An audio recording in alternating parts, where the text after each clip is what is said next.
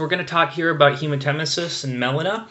And there's a big, huge differential for hematemesis and melena, as there is also for hematochezia. This, these aren't all-inclusive lists, uh, but I think these are some of the most prominent things, uh, as well as some of the most commonly tested things on uh, step two and three. So when we're thinking hematemesis and melena, we're thinking upper GI bleeds uh, stereotypically. However, uh, and with hematemesis, it is always an upper GI bleed, but with melena, it could be an upper GI bleed or a lower GI bleed because melena is just black stool. And uh, so if it's a, a, very proximal lower GI bleed, uh, then it, it, can be uh, melena as well. And as a matter of fact, one of these things is actually from a uh, the a lesion that is in the lower GI system. Um, so lower GI meaning distal to the ligament of Treitz, and uh, and proximal meaning proximal to the ligament of Treitz. Um, but uh, we're going to talk here about hematemesis and melena, which is typically upper GI, uh, so esophagus, stomach, duodenum. We're going to talk about five things ruptured esophageal varices, uh, which is uh, your biggest emergency out of all of these, then the Dieulafoy lesion, peptic ulcer disease, Meckel's diverticulum, and then gastroesophageal cancer, which uh, all cause uh, hematemesis uh, or melena. Actually, one of them doesn't cause hematemesis. Uh, but we're not going to talk about Mallory Weiss tear, celiac disease, esophagitis, gastritis, and aortoenteric fistula. They would be on your differential, possibly, uh, but I address these in other sections. So just out of the sake of time, keeping this relatively short, uh, I'm just going to talk about these five things. But if you want to, uh, if you want to review these things, I uh, put where you can find them. All right, the initial management for any upper GI bleeder, and most GI bleeds are upper uh, in the general population. In older patients, then it's more 50-50. Uh, but in the general population, most uh, GI bleeds are upper. And anytime we see hematemesis, we're thinking upper, it's got to be upper. If we're thinking melena, it's probably upper.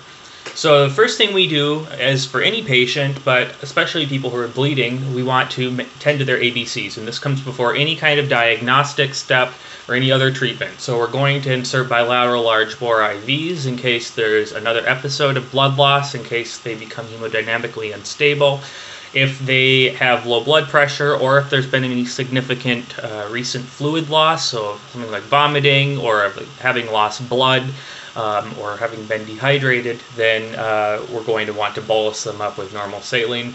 And then we also, of course, want to make sure that their airway is secure.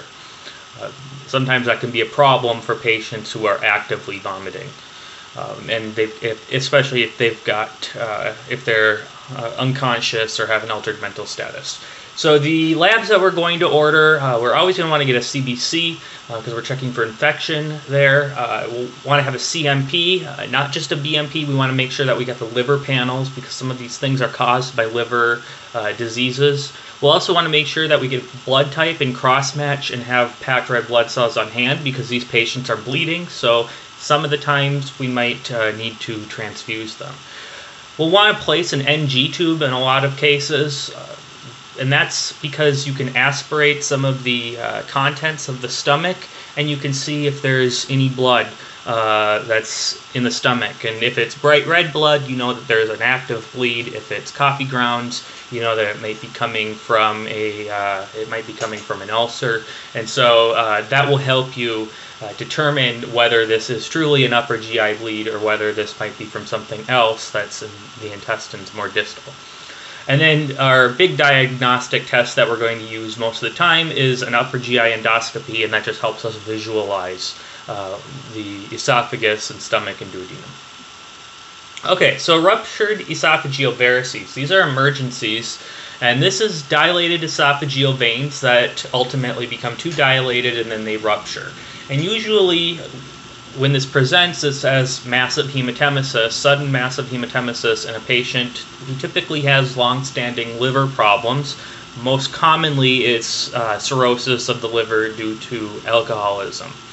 This has a pretty significant mortality rate, especially if it's not treated quickly enough. Uh, so, uh, making sure, of course, that you've got your ABCs taken care of is going to be really important here. A lot of times with esophageal varices, uh, the big hint is the patient's history. So, history of alcohol abuse, IV drug use, cirrhosis, liver disease. So, alcohol abuse because it causes cirrhosis, IV drug use because it puts you at risk of hepatitis, and then any other liver disease, hemochromatosis, Wilson's disease, um, anything that affects the liver causes esophageal varices. Why? Because when the veins go back, and remember, everything that's coming from our lower extremity, uh, or a lot of stuff, is going to come through uh, the portal vein. Uh, if when things get clogged up in the liver, when you have cirrhosis, the blood is going to find a different way through uh, up into the uh, into the inferior vena cava to go back into the heart.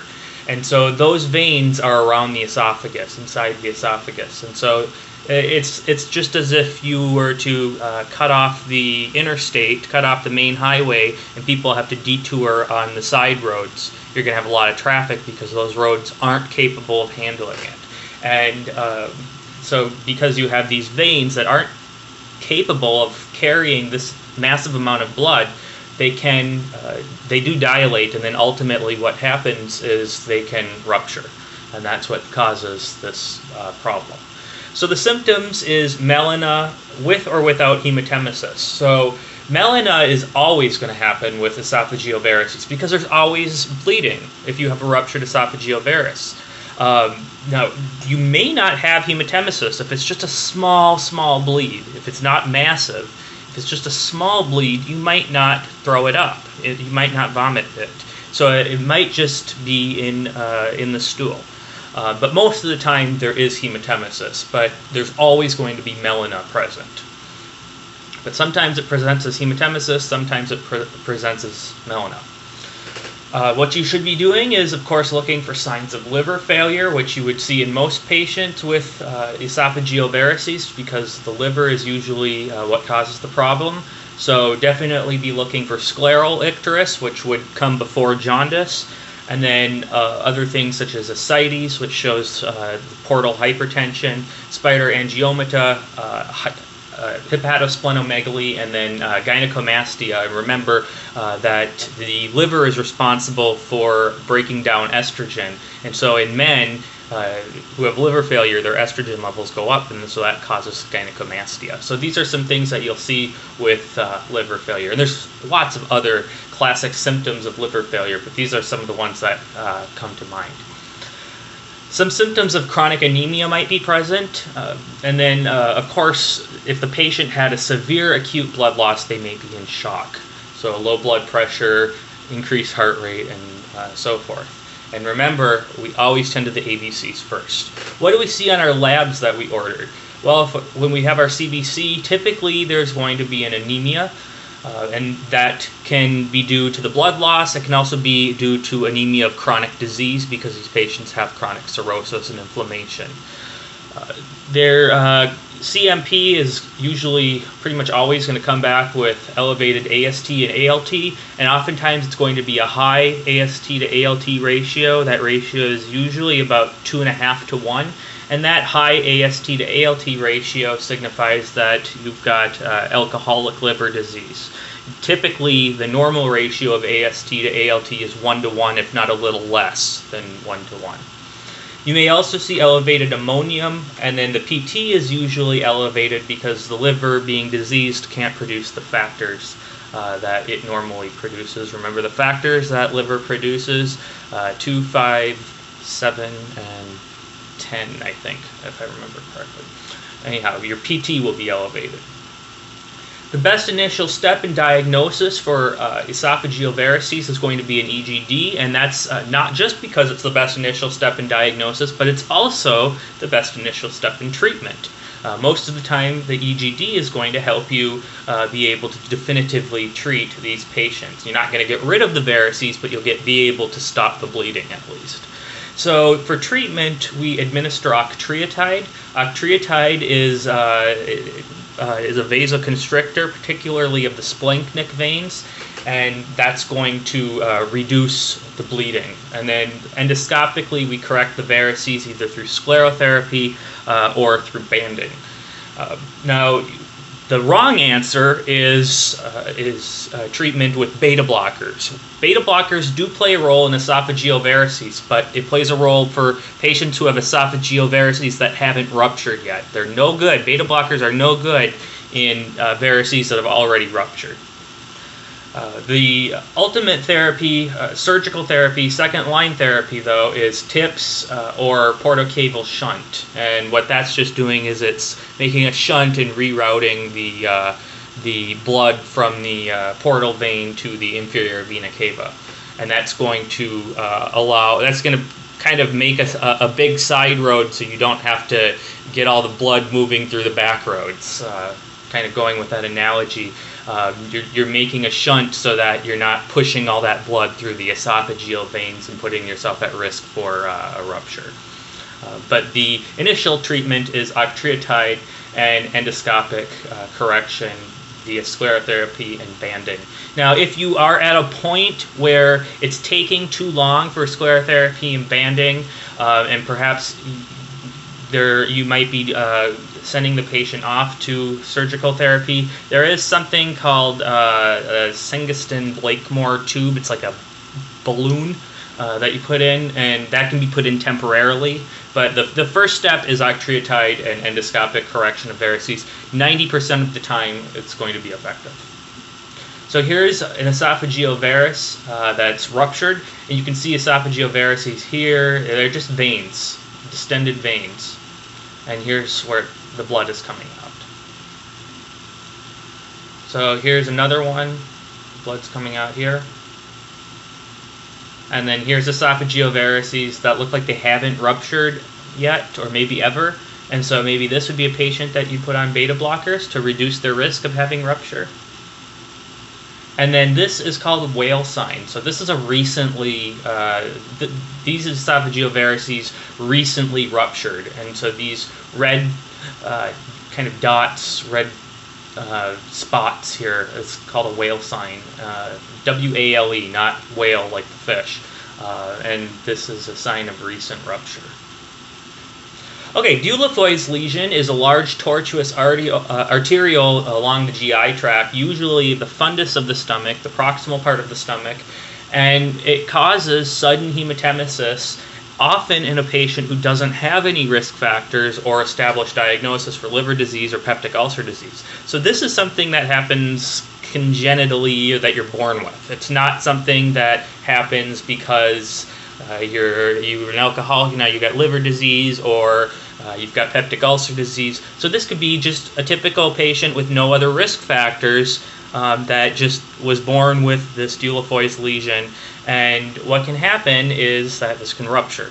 Uh, this typically presents as hematemesis because it's usually in the stomach.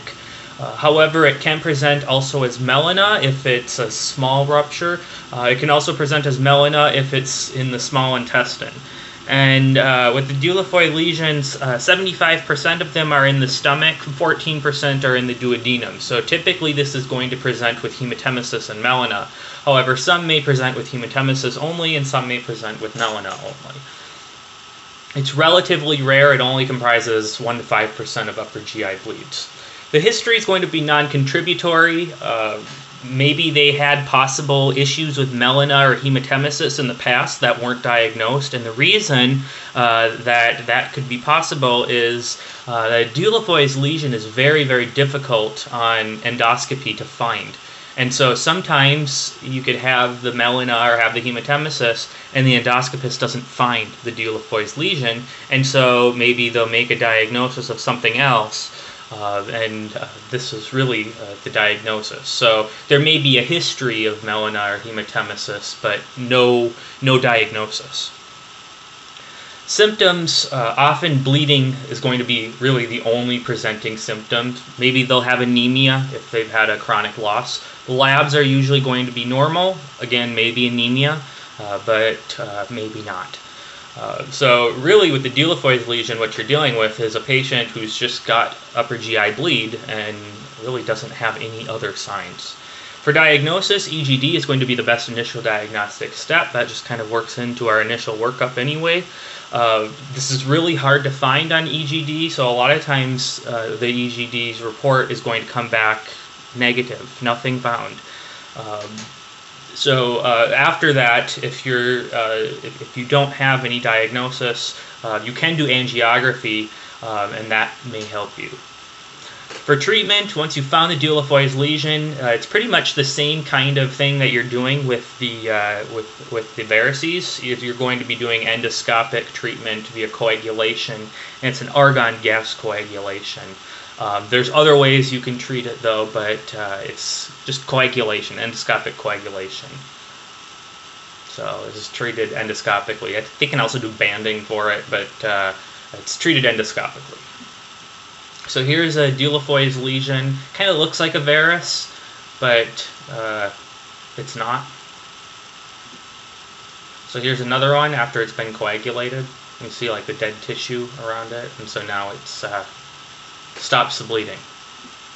Okay, peptic ulcer disease. So peptic ulcer disease is erosive ulceration of the stomach or duodenum. There's lots of things that can cause this. Uh, so uh, peptic ulcer disease, idiopathic, or due to uh, due to um, uh, NSAIDs or aspirin or due to Helicobacter pylori. There's lots of things that can cause peptic ulcer disease. Um, so when you look into the history, of course, somebody with peptic ulcer disease, they may have a uh, past diagnosed history of it. They may be on chronic NSAIDs for pain. They may be on a daily aspirin, uh, or they may just have a history of chronic fatigue, and that just indicates that they've had this uh, slow blood loss. Symptom wise, uh, usually this is going to present as melena, uh, either because the ulcer is in the duodenum. Uh, or because the ulcer is in the stomach, but usually it's a it's a pretty slow blood loss. But it can present as hematemesis as well. Uh, it can also present as right upper quadrant pain. Uh, that's typically uh, a, a, an ulcer of the duodenum. It can also present as epigastric pain, especially postprandial epigastric pain, because after you eat, you start secreting that acid, and that's going to uh, that's going to irritate the ulcer.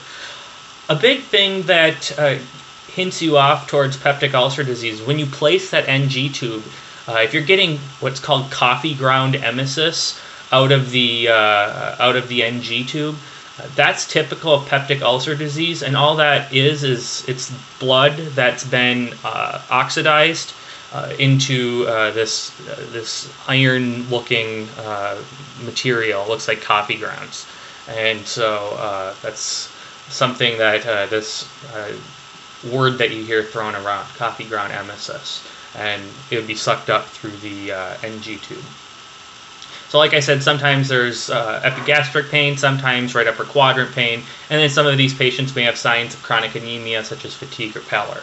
Labs, usually the only thing you're going to see is anemia. Uh, if you get iron studies, which can be useful as well, it will usually be the iron deficiency anemia.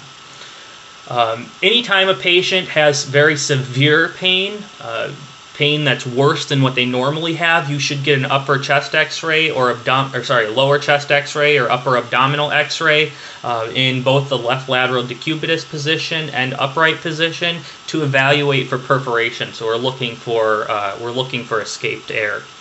And uh, a lot of times, the easy way to diagnose that is looking underneath the diaphragm.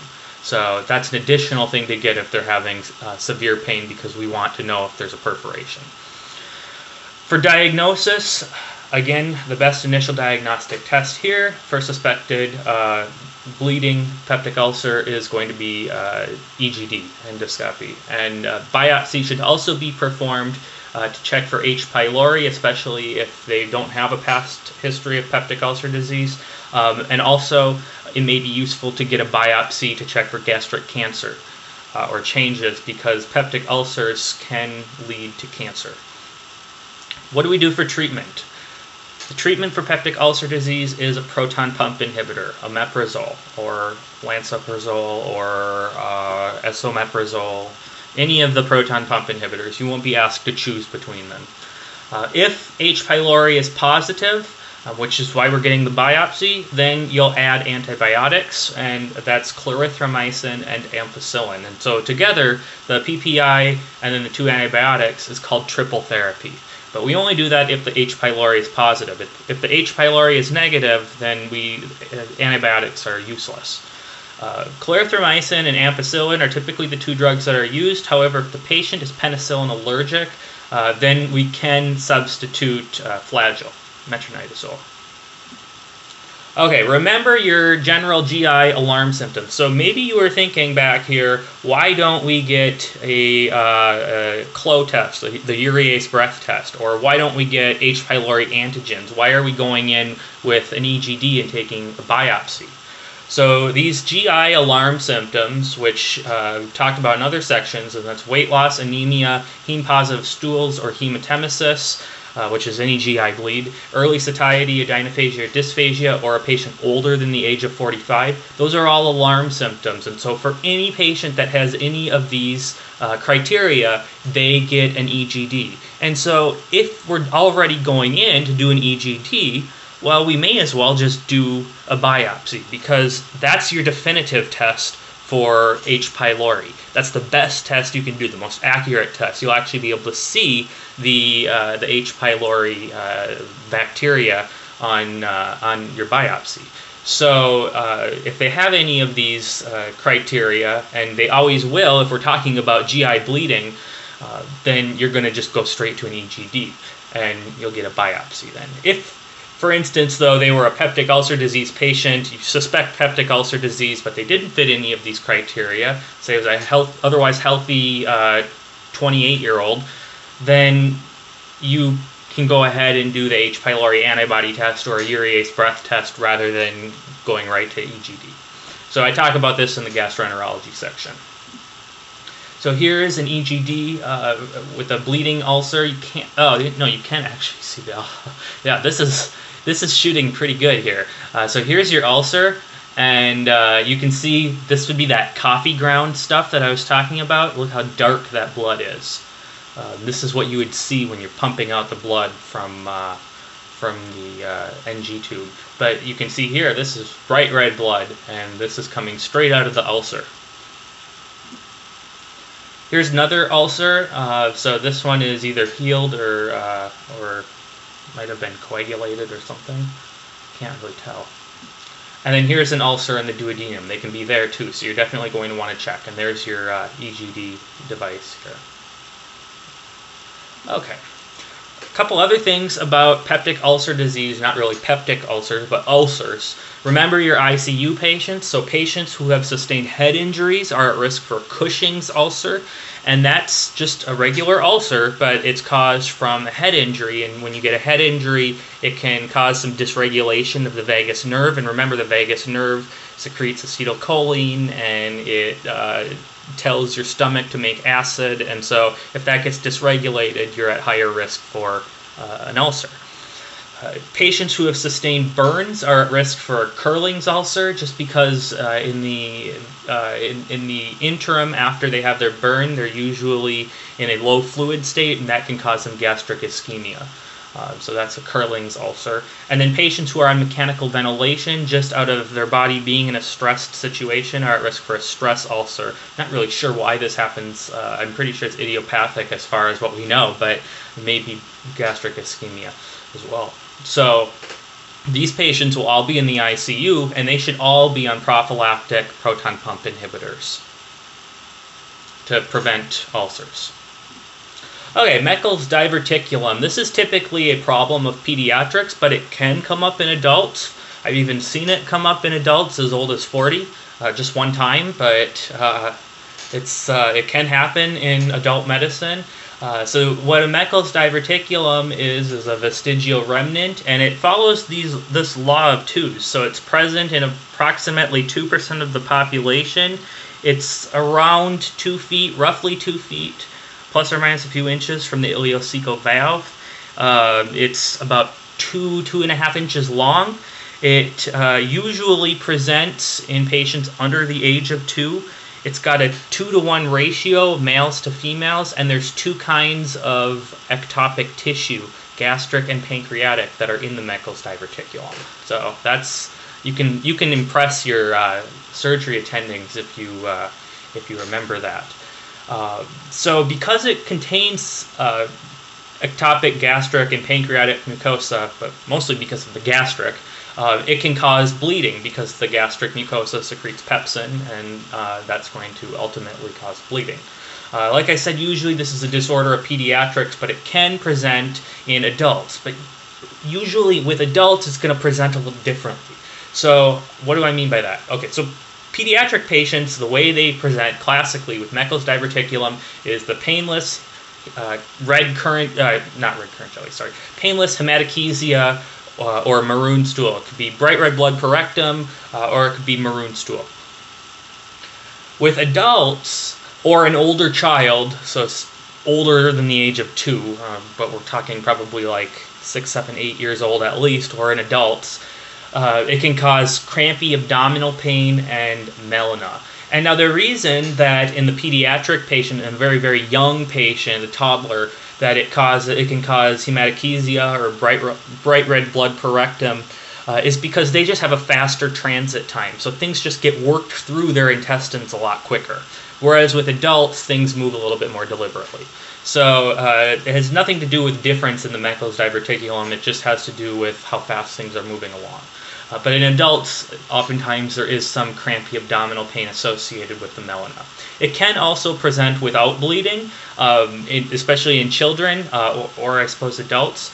Um, and those are some of the big problems with Meckel's diverticulum. And when I tell you that I've seen a patient present with Meckel's diverticulum, that's what I'm talking about. You can get uh, right lower quadrant pain with Meckel's diverticulum, and it can get uh, confused with appendicitis. Um, you go in laparoscopically looking for an inflamed appendix, and lo and behold, it's not there. And uh, so you should always then go look for your Meckel's diverticulum, and uh, you may be able to find it and that would uh, that, that can be inflamed. So uh, Meckel's diverticulum can present without bleeding. It can there's other problematic things that it can do. It can also uh, cause uh, telescoping intussusception uh, of the intestine, and that can be very problematic as well. So, but we're, what we're talking about here is bleeding. So this is a common way for Meckel's to present. For diagnosis, diagnosis of Meckel's diverticulum is suggested when the stool guaiac is positive, but there's no blood retrieved via the NG tube, and that makes sense because this is in the distal small intestine. And there's no source of bleeding found on EGD because in the EGD we're only going as far as the duodenum.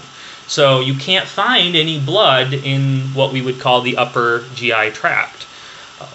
But we still have uh, melena. So that's where we would suspect a Meckel's diverticulum. And the best diagnostic test to do when you suspect a Meckel's diverticulum is the technetium 99 scintigraphy. Technetium 99 scintigraphy, or might just be referred to as the technetium 99 scan. And what this is, uh, is a nuclear substance that's taken up uh, by the gastric mucosa and we look at it and we uh, and we see on the scan uh, where the uh, substance has been taken up. And the treatment, the definitive treatment, is a Meckel's diverticulectomy, uh, but you can also staple the diverticulum off, and that will present, uh, prevent uh, more of that acid pepsin from going out into the into the intestine. So this is a technetium 99 scan, and this is a normal scan. So the black part here uh, is the uh, where the technetium is. Uh, so this is uh, over elapsed period of time. So you can see here it's in the stomach, a little bit of it in the intestines, and then in the bladder. So it's concentrated in the stomach and in the bladder, and that's where it should be. Because you've got gastric mucosa in your stomach, uh, and then in the bladder, that's where it all pools up after uh, once it gets eliminated. Okay, now here on the other hand, uh, you've got a Meckel's diverticulum. So here it is in the stomach, and then uh, in this, you've got this little dot here, and this is your Meckel's diverticulum. Here's another one. This is just, uh, this is just, the colors are just reversed here, and you got a Meckel's diverticulum here. Okay, So here's what a Meckel's diverticulum looks like. Here it was resected. And you could also staple it off, but that just depends on the surgeon. You'll not, you will definitely not be asked to, decide which of the two to do. But you want to remove it or staple it off when uh, if the patient's got uh, bleeding due to Meckel's diverticulum. Okay, gastric or esophageal cancer. I don't really know why I put these two together. It's kind of stupid of me, but uh, these are two different cancers, and of course, cancer can cause bleeding because it's unstable tissue. And so, uh, classically, uh, these uh, both of these cancers present in older patients with risk factors for either of them. The risk factors are a little different though. So gastric cancer, these are patients who have established peptic ulcer disease, especially H. pylori infection, um, use tobacco, radiation exposure, pernicious anemia, uh, and then uh, a diet high in smoked or salted foods. With esophageal cancer, uh, that's uh, the risk factors for that are gastroesophageal reflux disease, especially if it's caused Barrett's esophagus, and then um, that's for the uh, adenocarcinoma, and then the squamous cell carcinoma of the esophagus. Uh, the risk factors for that are smoking and alcohol use. The symptoms, of course, are going to depend on the type. So, with gastric cancer, you typically have epigastric pain. With esophageal cancer, you typically have dysphagia, uh, first to solids and then progressively onto liquids. Both of these are going to cause weight loss, fatigue, pain, lymphadenopathy, um, just like any cancer would. Uh, especially in the supraclavicular, cervical, um, and for gastric cancer, the periumbilical lymph node. Um, and that's called the Sister Mary Joseph node. I was going to look for a picture of Sister Mary Joseph to put up on here, but I couldn't find one. Okay, diagnosis. Gastric cancer is diagnosed with EGD with biopsy. That's the best initial step in diagnosis. Esophageal cancer, a little bit different. Barium esophagram is the best initial step because we're extremely worried about perforation uh, and so we want to know where approximately the cancer is before we go and stick that tube in there. With gastric cancer, we already know it's in the stomach. Uh, so with esophageal cancer, we'll do barium esophagram first, then we'll do the EGD with biopsy. And the treatment is has nothing to do with bleeding. We'll talk about that somewhere else. I already talked about the esophageal uh, cancer treatment in uh, the dysphagia section. And then some of the other things that cause upper GI bleeding. So, a Mallory Weiss tear, which I talked about in the esophageal perforation section. This is a superficial tear of the esophageal mucosa, uh, pretty much always secondary to strong vomiting and retching, uh, especially after a good night out of uh, hitting the bars and drinking alcohol. Uh, usually, this is this is always bright hematemesis, and it follows, like I said, that strong vomiting and retching. Diagnosis is made on EGD, and you'll see these uh, superficial tears. Treatment, usually you don't have to do anything other than stabilize the patient, supportive therapy. Usually it's self limited. Uh, however, if you do have continued bleeding, you can endoscopically coagulate the tears. Celiac disease is an autoimmune reaction to a wheat allergen, uh, specifically gliadin and uh, this results in sloughing of the intestinal mucosa, which can ultimately result in some bleeding. And the bleeding you're going to see here is melena. So oftentimes it's accompanied with melena, and because you've got uh, you've got a disease of your intestine, it impairs absorption, and that causes steatorrhea, mal- uh, malnutrition, and abdominal pain. Uh, because you've got the steatorrhea, you're not absorbing the fat, and so some of the a lot of these patients are very thin. Uh, this is a very chronic disease. It's with you for life, and it's also very underdiagnosed. We've got a much bigger awareness about this now than we did 10 years ago. Uh, for diagnosis, uh, you can do anti-tissue transglutaminase and anti-gliadin titers. Uh, the definitive diagnosis for celiac is EGD with biopsy. The treatment is a gluten-free diet, which is a big pain in the butt for uh, for patients with celiac because our American diet is full of processed food with wheat in it. Esophagitis and gastritis, there's tons of causes, especially certain pills. And when I'm uh, talking about certain pills, I am pointing at bisphosphonates, which little old ladies take for their uh, uh, for their um, their bone issues. Uh, and then um, NSAIDs aspirin, and uh, alcohol.